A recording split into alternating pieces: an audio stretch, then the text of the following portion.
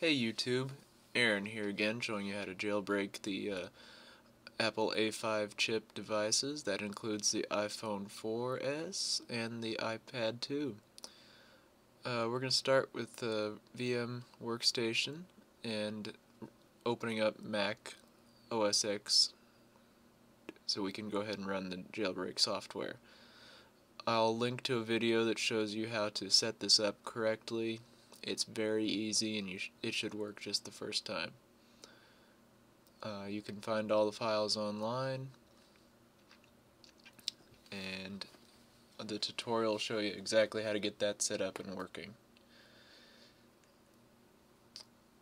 So just get my virtual machine started up here and it's going to show us that the removable devices can be added to the virtual machine. And that's really the, where the magic happens on this. Go ahead and get it started up here, log in.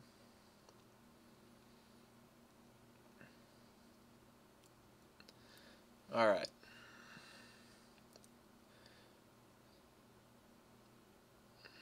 As soon as it finishes loading up here,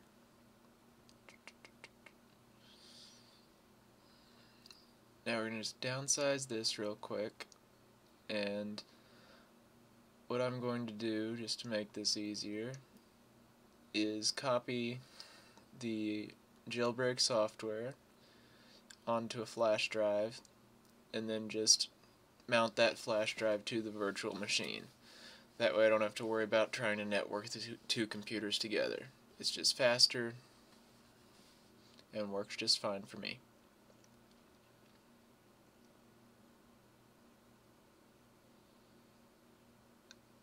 I'll also have a uh, link to where I got the jailbreak software from.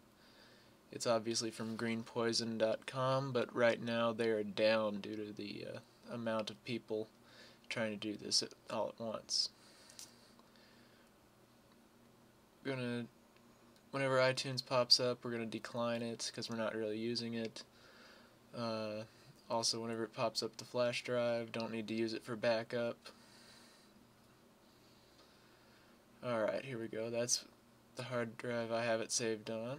There's the jailbreak. It's called Absinthe. Go ahead and open that up and export it.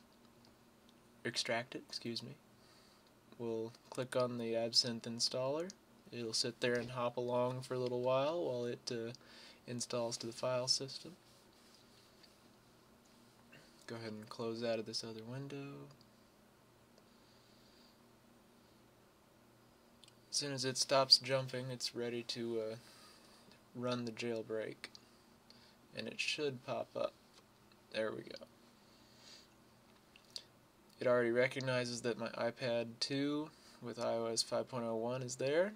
So go ahead and click jailbreak.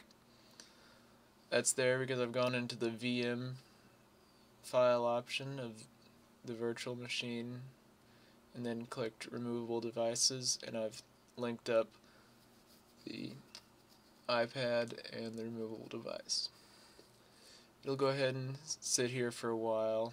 It probably took about 10 minutes. I've cut this down quite a bit for you guys. Uh, it like it says it'll appear to be restoring a backup. I didn't manage to get a picture of that. My camera battery was dead. And then it'll send some payload data. Don't touch your device. Just let it sit there and look pretty.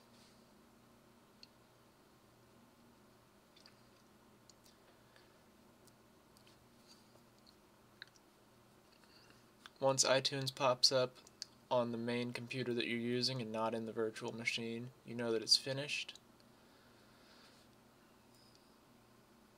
But go ahead and leave it alone.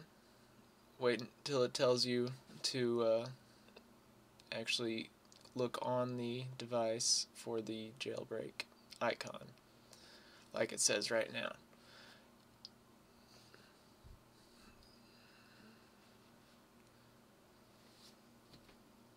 Alright, here we have the iPad after it got done doing the uh, restore. It's just now rebooting. Like I said, I missed the restoring screen, but uh, this is what it'll get to as soon as it's done restoring. It'll sit here and spin for a couple seconds. I cut that out as well for the most part.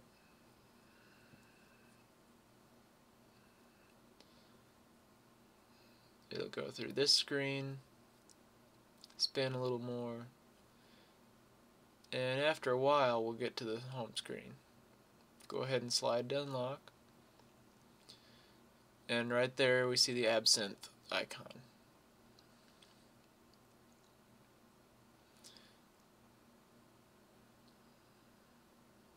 And nothing. This is happening because their website is down. What I'm going to do is I'm going to go ahead and kill all the tasks that I have open and restart.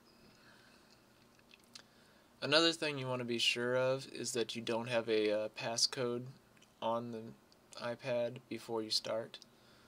Uh, I'll go ahead and put that in the description too, but uh, it can cause problems. And make sure you don't have a VPN software set up. Okay, killed all my apps and I still get a white screen. So we're going to go and do this the other way. If you'll notice it added the VPN icon to your settings menu. That's why you have to have it have one not configured before. Uh, I'm going to took a screenshot there. It'll show you an error has occurred. Just hit OK and then try and turn it on again. You might have to do this two or three times, only took twice on mine, but it'll end up restarting the device. Don't get worried. It'll just restart again. And then as soon as it gets done restarting, you'll find something nice sitting on your home screen.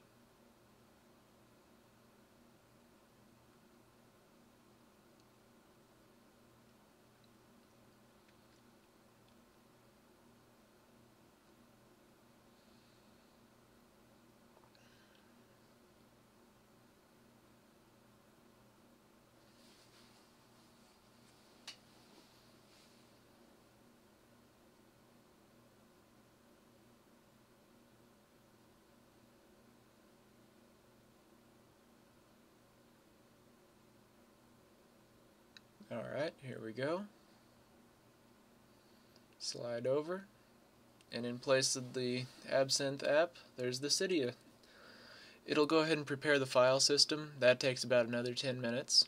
So go ahead and whenever it comes back, it'll, I don't remember if it rebooted or not, but uh, eventually you'll get to right here, just the user, the hacker, or the developer it wants to know what type of user you are.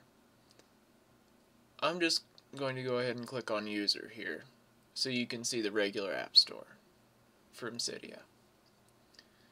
It'll load everything up and congratulations, you've just jailbroken your iPad or iPhone.